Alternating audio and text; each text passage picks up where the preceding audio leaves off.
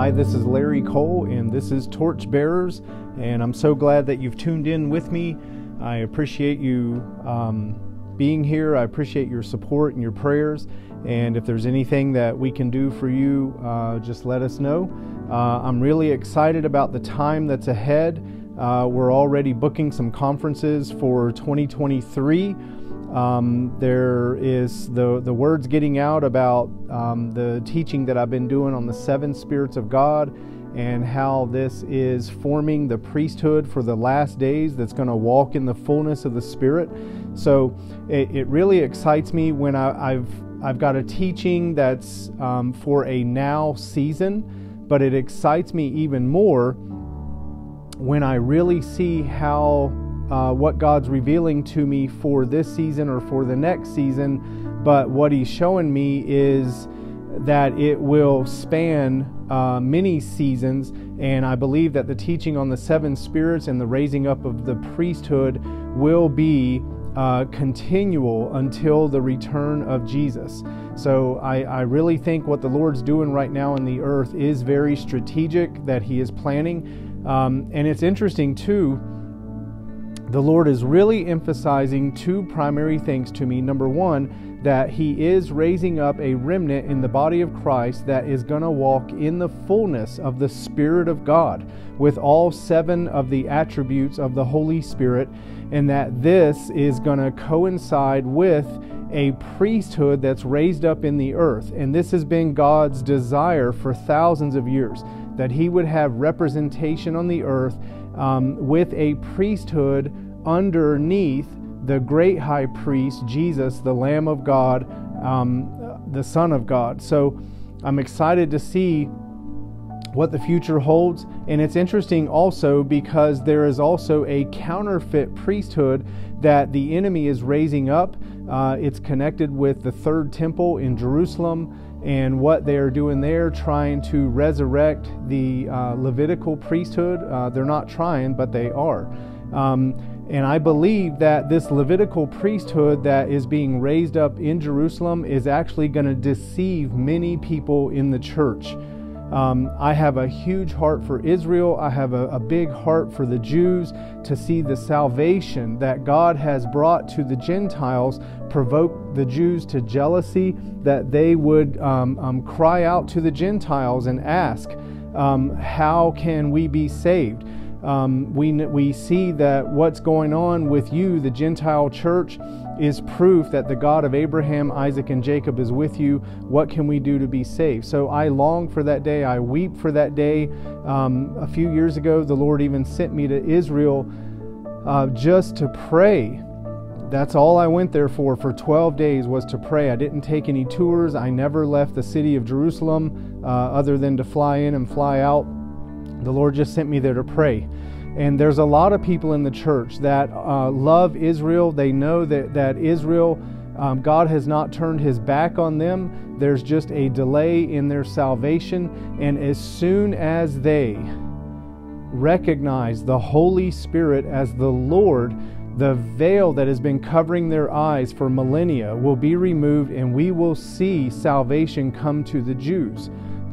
The problem is, there are many people in the church that are so hungry and desiring to see what God does in the land of Israel and with the Jewish people, to see revival come to Israel. People are so hungry for it that there's the, a big possibility that, that there's going to be deception come in the church as a result of a false priesthood that is raised up there is no priesthood, physical priesthood on the earth that God is raising up. It's not going to happen. The only physical priesthood there's ever been on the earth um, that, that God was pleased with was from the tribe of Levi that we read about in the Old Testament that Jesus did away with. And there are a group of people with a lot of money, a lot of backing, a lot of political influence. Um, these people have power and they are trying to raise up again the Levitical priesthood, and they're doing it. They've done DNA testings, they have found the Levites, they have found the priesthood, they have the red heifers uh, ready for the, for the offering to cleanse the temple, and and a lot of people are excited to see the third temple rebuilt in Jerusalem. But that is where the Antichrist himself will sit. And if we're not careful, our hunger to see God move in Israel and among the Jewish people will cause us to eat things that are not of God, that will cause us to accept things that God is not a part of. So, the enemy is working to raise up a priesthood that is, is going to establish the identity of the Jewish people more in their Judaism than in their Messiah, Jesus, the Son of God who has come. So, a lot of people are cheering this on, even in the church. There, there's even a lot of evangelical, Pentecostal, charismatic ministers on Christian television that are raising money to help the Temple Institute, to help resurrect the Levitical priesthood. And they're convincing the church that this is God's will. It is God's will for it to happen, but it is not God's will for His church to be a part of it. It is not of the Lord, it is of man, and it, it will be used greatly by the enemy in the last days. So uh, I see on one hand, God is raising up the true priesthood underneath the great high priest Jesus Christ in the earth, but this is a spiritual priesthood. And on the other hand, the enemy is raising up a physical priesthood in Israel, and the two are coming together, and this will result in the ultimate battle between light and darkness, the ultimate battle between Jesus and hell. So, God is establishing a priesthood on the earth. I guarantee it. And this priesthood will be the fulfillment of what God desired to do, going all the way back to Egypt, Mount Sinai, Moses delivering his people. This is the fulfillment of that. Even the early church did not see the fullness of a spiritual priesthood established that we read about in the book of Hebrews we will see the former rain and the latter rain. We will see the glory of the former house and the latter house come together, a double portion, and all seven spirits resting on the God of pe- uh, on the people of God. So I'm just really excited about this. Um, eh, you can probably hear it in my voice. I just get pumped up uh, because I know that God is about to show His glory on the earth, but He can't do it until there is a people that recognize the Holy Spirit is Lord and they humble themselves to that lordship so that he can impart all seven of his attributes and characteristics to rest upon them so that then they can function and operate in the holy place where Jesus is seated in heavenly places Friend, don't think just because there's a scripture that says we are seated in heavenly places that you've got a place of authority there. There are Christians that are living in sin, that are not abiding in the Lord, that are not walking with Him, and yet they, they will quote these verses to themselves to make themselves feel better. Try walking with the Holy Spirit, and you'll find out real quick just how close you are to Him, how much you understand the culture of the kingdom, and, and what in us uh, is in opposition to Him, what in us is in agreement with Him, what can work with Him, and what cannot. Um, so this is that's another story for another day but i'm excited. There's a people that are hearing his voice that are answering the call that are positioning themselves to be chosen to be the leaders of this priesthood on the earth in the last days. So today we are going to talk about how to receive the spirit of wisdom eight ways to receive the spirit of wisdom now, I can go through this list real quick and I can tell you hey, if you want the spirit of wisdom, here's eight things scripturally based that will help you receive the spirit of wisdom. And this is really important because the definition of the spirit of wisdom is God enabling us to judge rightly in matters of life and conduct. It is God enabling. So, the spirit of wisdom, again, it's the spirit of wisdom. It's not just knowledge with experience that we have, which brings a natural wisdom. But the wisdom I'm speaking of is the wisdom from above. It is the wisdom of God, and it is pure, and it is holy, and it, it imparts His peace and His presence.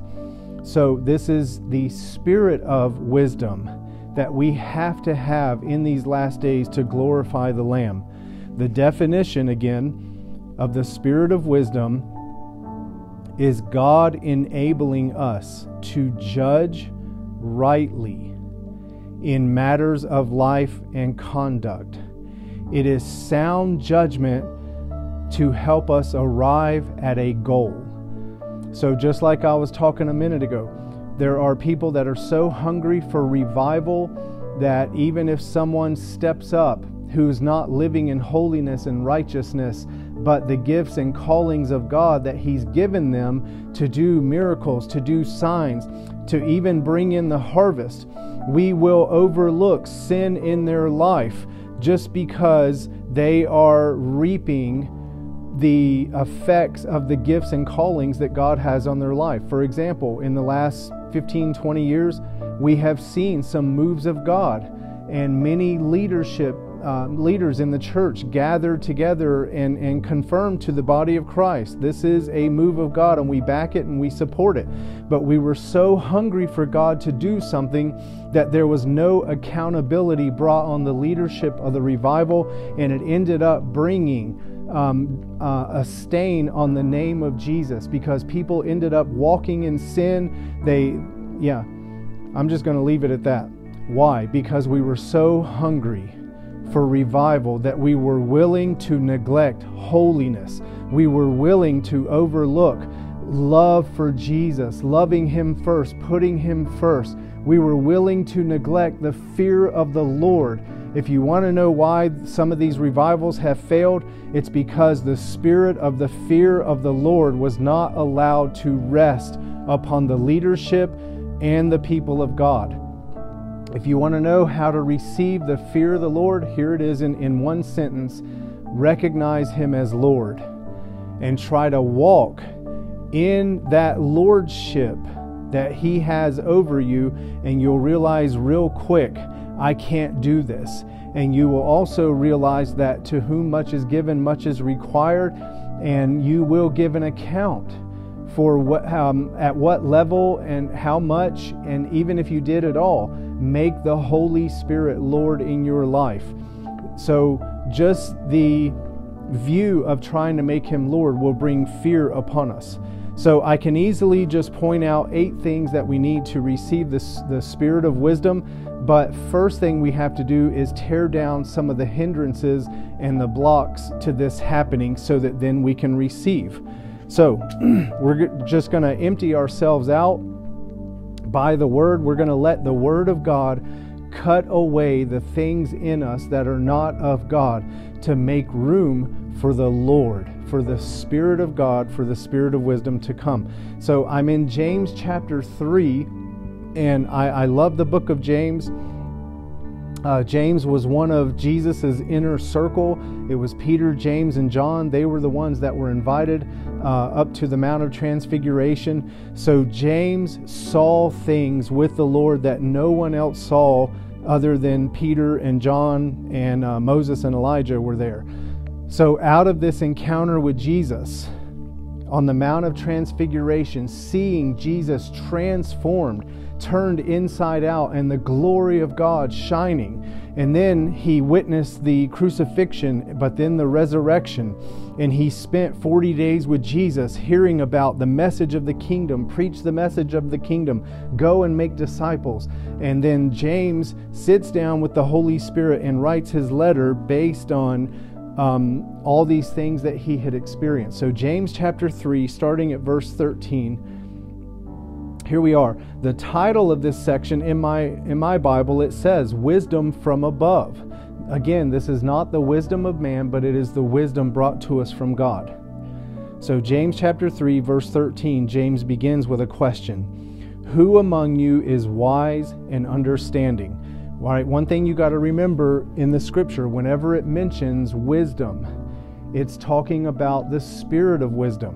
Whenever it mentions understanding, it's talking about the spirit of understanding. So, another way to reword this question is who among you has the spirit of wisdom and has the spirit of understanding? Let him show that he has these attributes of the Holy Spirit by his good behavior. Good is something that's beneficial for the kingdom, behavior that benefits the kingdom. By his good behavior, his deeds in the gentleness of wisdom. So now he even begins to describe what the spirit of wisdom is like. The spirit of wisdom is gentleness. So if you've got this idea that every time the Holy Spirit speaks to you, um, that he's he's hard disciplining you, that's not the spirit of wisdom. The spirit of wisdom comes in gentleness. Verse 14. But if you have bitter jealousy and selfish ambition in your heart, do not be arrogant and so lie against the truth. So here he's talking about who among you has the spirit of wisdom and understanding. Let him show it by his good behavior, his deeds in the gentleness of wisdom. And then he says there's a contradiction, an exact opposite to what he just asked and it is bitter jealousy and selfish ambition in your heart. If we have bitterness, jealousy, and selfish ambition in our heart, the Holy Spirit of wisdom will not rest upon us. So, James is really good about cutting away the things that are not of God to make room for the things that are. And he specifically calls out bitterness, jealousy, and selfish ambition. Verse 15 he says, The wisdom, this wisdom, is not that which comes down from above. So if if someone says, I've got wisdom that is from above, and yet they walk in bitterness and in jealousy and in selfish ambition, friend, they're a liar. And they don't have the truth of God, and they definitely don't have the spirit of wisdom. So he says,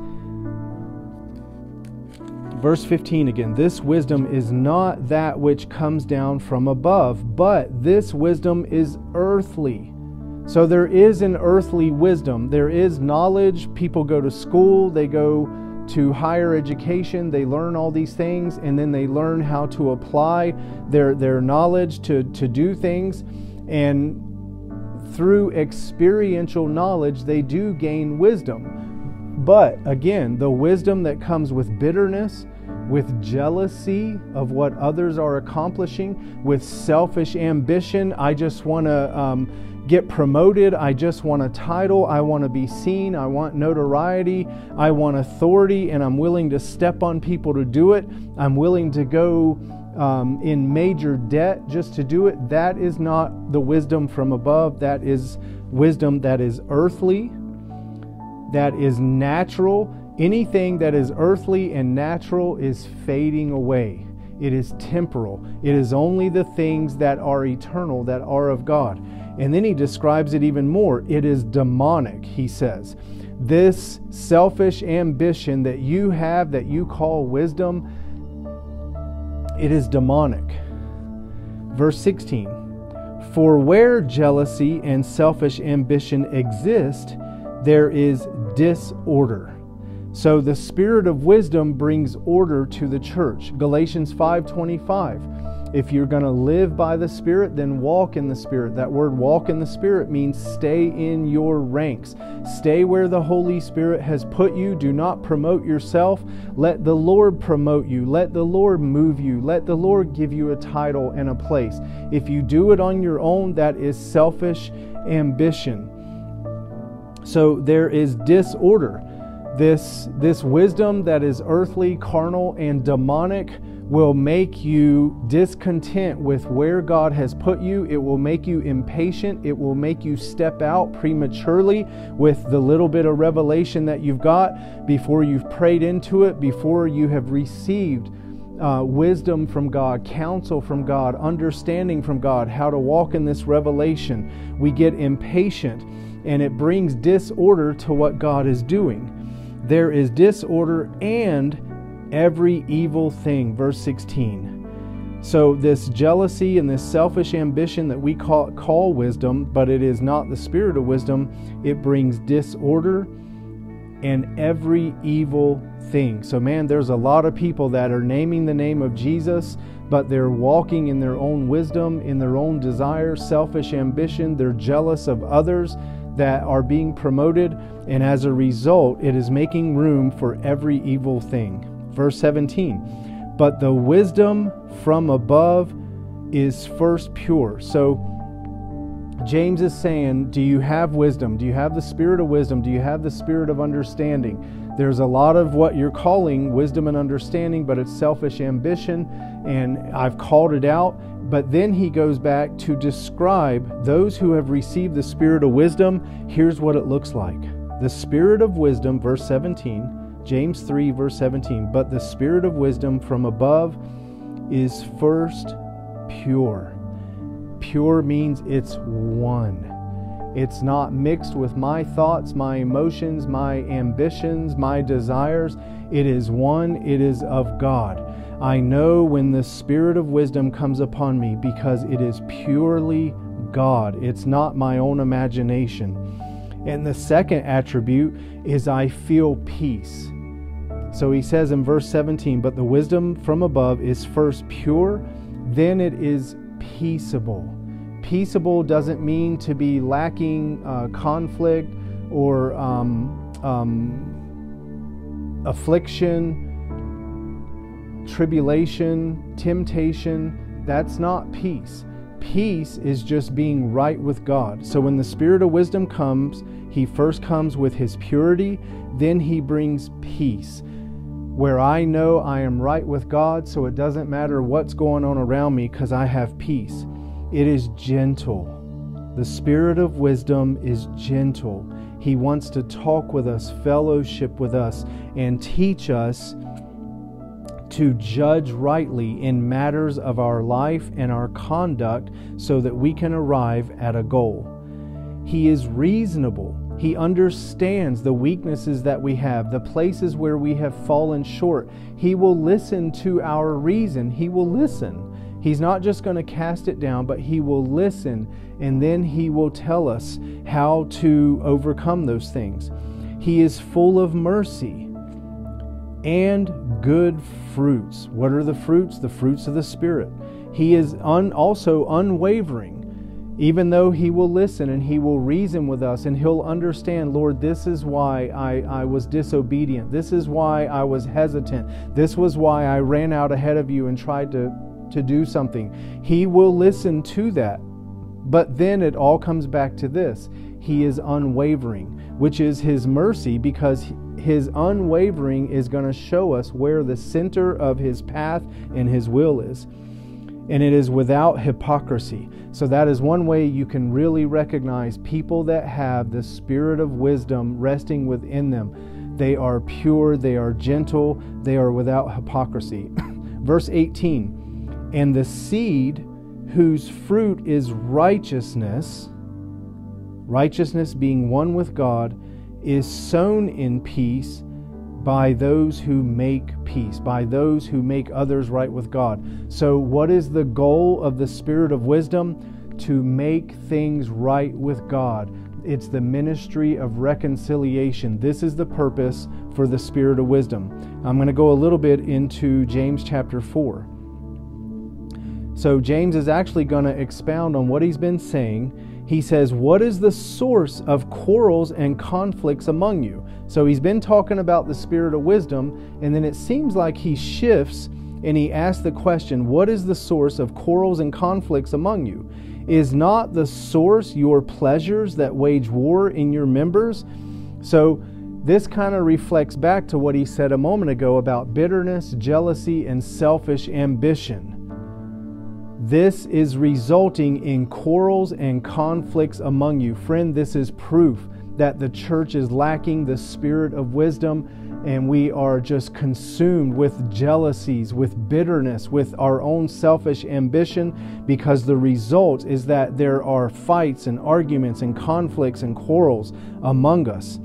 Is not the source of these conflicts, of these quarrels, is not the source of it your pleasures, your own desires that are waging war in your members. You're desiring, verse 2, James chapter 4, verse 2 You're desiring and you do not have. So, as a result of what you desire, but you don't have it, you commit murder. What is this? It's slander. It's people talking crap about their friends, um, about their leaders, about their pastors, about politicians, because you're jealous, because you've got selfish ambition, and you're committing murder with your tongue. You are envious, he says and you cannot obtain these things that you want, so you fight and quarrel. So, the whole purpose of these arguments and these conflicts, even in the church, is selfish ambition and jealousy. People are wanting what they don't have. You do not have, he says, because you do not ask. Did you ever stop to think and ask the Lord what He wants? So, it's not just um, stopping and asking the Lord for what you want, it's asking Him for what He wants. So He says, just ask the Lord and you might receive. Verse 3 You ask, so some of you have moved on to the next level. Hallelujah, you did ask, but you still don't receive. Why? Because you ask with wrong motives. It's all about you, your selfish ambition, your jealousy of others so that what you are asking for, once you get it, you just want to spend it on your pleasures. You adulteresses, wham. Here we are. It's just like the ten virgins. Man, even the foolish virgins, they were not accused of committing adultery. They just didn't have the double portion of oil. But here's what he says all of you, people, uh, God's people that are in the church, you've got jealousy of one another. You have this selfish ambition that's driving you to want to be seen, to want to be known. You're committing adultery. Against who? Against Jesus. You adulteresses, do you not know that friendship with the world is hostility towards God? Man, people are desiring the things of this world. Where your heart is, that is where your treasure is. You're desiring the things of this world. You want to be a friend with the things of the world um, so that you can be seen and be known. But this is hostility towards God. So we see where the spirit of wisdom breaks our love for this world. Um, verse 5 Or do you think that the scripture speaks to no purpose? He, meaning God, jealousy, jealously desires the spirit which he has made to dwell in us. But he gives a greater grace, verse 6. Therefore it says, God is opposed to the proud but gives grace to the humble. Verse 7, here's the key submit, therefore, to God. For this is the power to resist the devil and make him flee from you. Verse 8, draw near to God, and God will draw near to you. Cleanse your hands, you sinners, and purify your hearts, you double minded. Be miserable and mourn and weep. Let your laughter be turned into mourning and your joy into gloom. Verse 10 If you will humble yourselves in the presence of the Lord, he will exalt you. So, man, I love the book of James. Um, so, real quick, let's go through eight things needed to receive the spirit of wisdom. James has showed us here's how to get your heart right so that you can receive the spirit of wisdom and understanding. Now, here's eight things to receive the spirit of wisdom. Number one, obedience. We just talked about this Galatians 5:25 if you're going to live by the spirit then you also have to walk in the spirit. You have to stay in your ranks. Humble yourself. Don't move ahead of the Lord. Walk with him. Be patient. God is not in a hurry. He's going to get it done. He's going to make it happen. Stay in your ranks. Number 1 is obedience. Number 2 humility. Proverbs 11:2 says when pride comes then comes disgrace. But wisdom, the spirit of wisdom, is with the humble. If you want to receive the spirit of wisdom, stay humble. Humble isn't an act, it's not an action. It's not, well, I'm put in a circumstance and now I have to humble myself. Humility is an identity. It has to become us. It's not something we put on and take off. It's something we have to become. Number three, ask. James In chapter 1, verse 5, James 1 5 says, If any of you lacks wisdom, the spirit of wisdom, let him ask God for the spirit of wisdom, who gives generously to all without reproach, and it will be given them. So, if you want the spirit of wisdom, just ask the Lord. Uh, number four, you need a revelation of Jesus. Matthew 16, 18 says, And I tell you, you are Peter, and on this rock I will build my church, and the gates of hell shall not prevail against it. You need a revelation of Jesus. So we see that so how did what does this have to do with the spirit of wisdom well peter got the revelation jesus was asking who do people say that i am peter got the right answer and and Jesus commended Peter and he said, Peter, you didn't get this on your own, but my Father in heaven revealed it to you. And he said, On this revelation, on this revelation that Jesus is the Son of God, I will build my church. Again, what is the definition of the Spirit of wisdom? It enables us to judge rightly in matters of life and conduct. It is sound judgment to help us arrive at a goal. What is the goal of Jesus? He said, On this revelation I will build my church, a church that the gates of hell cannot prevail against. So, this is the goal that Jesus is wanting. And how does it come to pass? By a revelation of who He is. And it's not just once when we go to the altar and we get born again, but it is continual revelation of who He is. For as we see Him, we will be like Him. So we need a revelation of Jesus. Um, number five, how to receive the spirit of wisdom worship. Check this out Psalm 49, verse 3 and 4. The psalmist writes, My mouth will speak wisdom. How do you speak wisdom? You have listened to the spirit of wisdom. Through my heart meditating, I gain understanding, the spirit of understanding. So let me read that again Psalm 49, verse 3. My mouth will speak what the spirit of wisdom has told me. Through my heart meditating, meditating, I gained the spirit of understanding. Verse 4 I will listen to him, he speaks to me in parables. His deep sayings will be revealed upon the harp. Listen to that.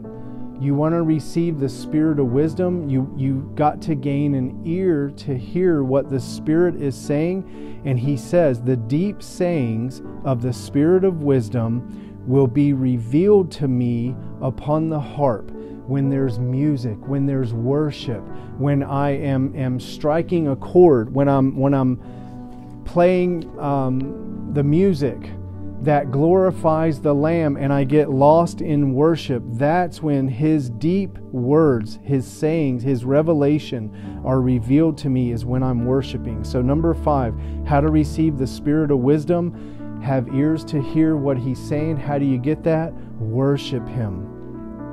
Number six, how to receive the Spirit of wisdom. The fear of the Lord.